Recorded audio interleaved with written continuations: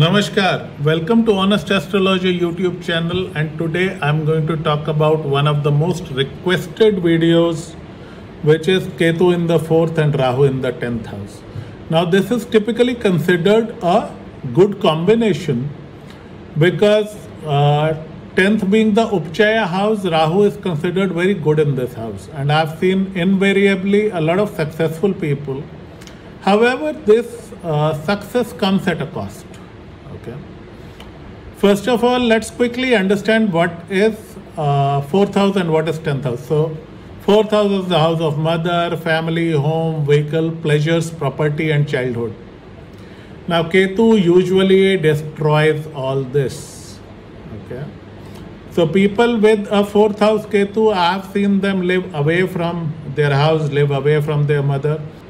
And typically an unhappy childhood i've seen 10th is the house of career, business, people relationship, employers, and authority.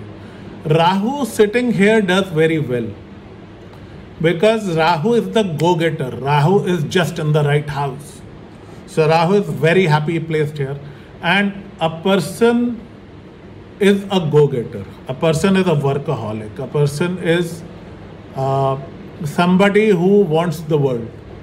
Okay so they are ruled by their obsessive ambition.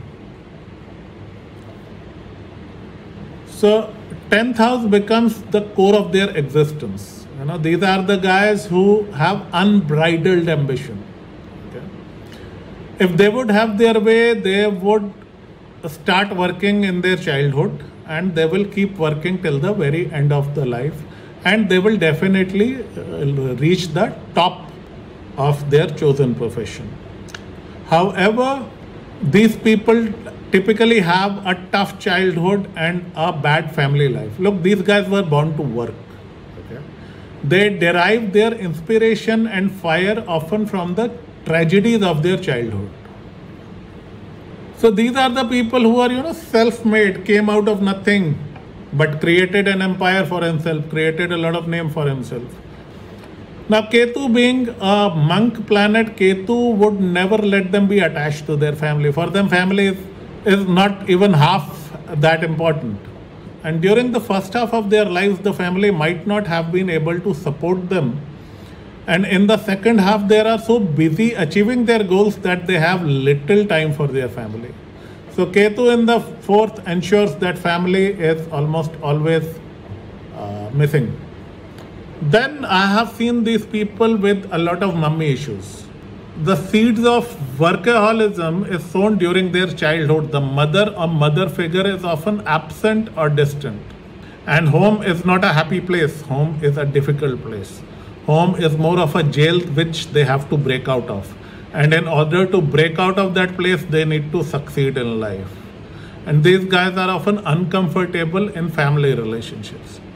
Another problem with the fourth house Ketu, I have seen problems with property and vehicles. So whenever they buy property, something goes wrong. Shani Ketu in the fourth house should never buy property in their own name. They can buy in the name of their spouse, in the name of their children, in the name of their parents even, but uh, they should never buy property or vehicle in their own names.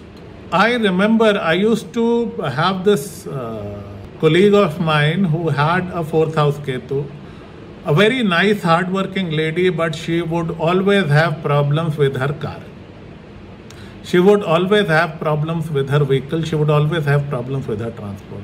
You know uh, fourth house is not just your family property mother vehicle. Fourth house is also your happiness. So their happiness gets terribly compromised. But on the good side their workaholism and obsession to work and grow in life takes them to the very top.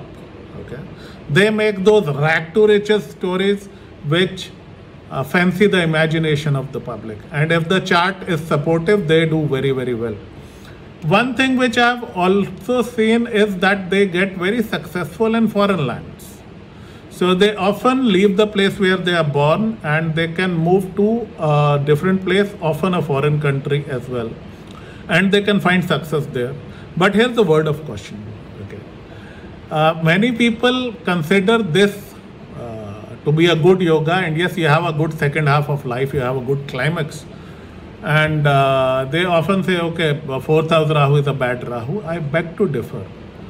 Because, you know, I think we have glamorized workaholics too much. Companies want that, employers want that. So we have created this halo around people who would kill themselves working. And Rahu in the 10th is perfectly capable of doing that. So, you know, I think uh, workaholism has been glorified beyond a reasonable limit. But for current date and time, these are the guys who are going to do extremely well. Rahu will make them successful. Jai Rahu Dev.